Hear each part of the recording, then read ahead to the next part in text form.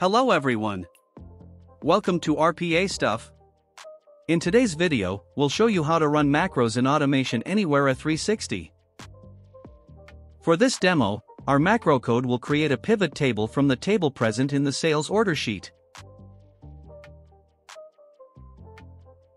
I have a separate file that contains macro code with a function named createPivot that takes a file path as an input argument and creates a pivot table in that file.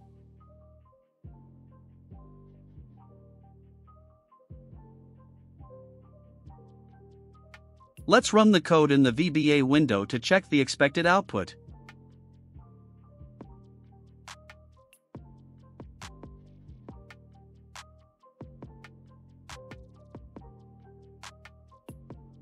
As you can see, our macro has created a pivot table based on the data present in the sales order sheet.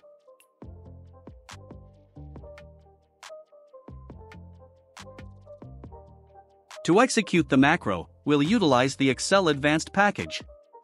Take an open action.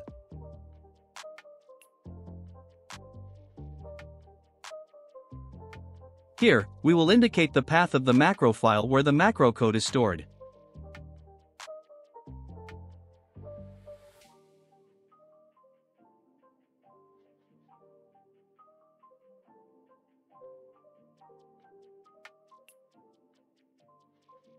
As part of good practice, provide an appropriate session name.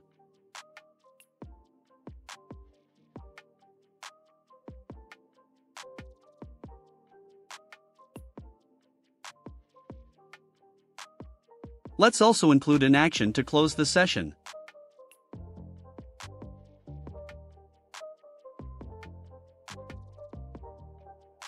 Now drag and drop the run macro command from the Excel Advanced package.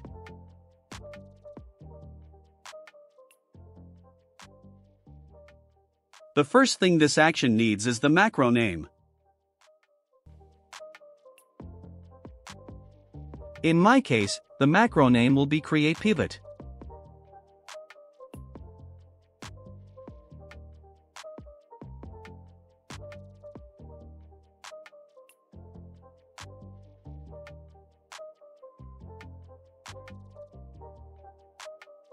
If your code has any input arguments, we can specify them in the section below.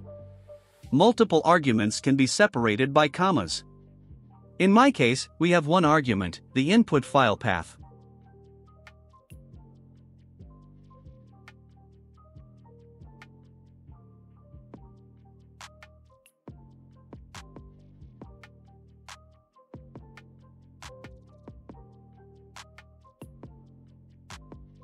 Make sure session names are correct in all related actions.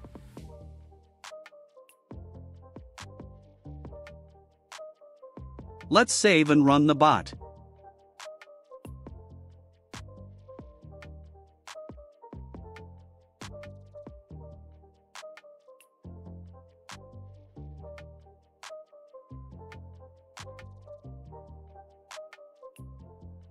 Our bot ran successfully and our macro has created pivot table.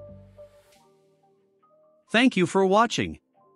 If you found this video helpful, don't forget to hit the like button and subscribe to my channel for more exciting content like this.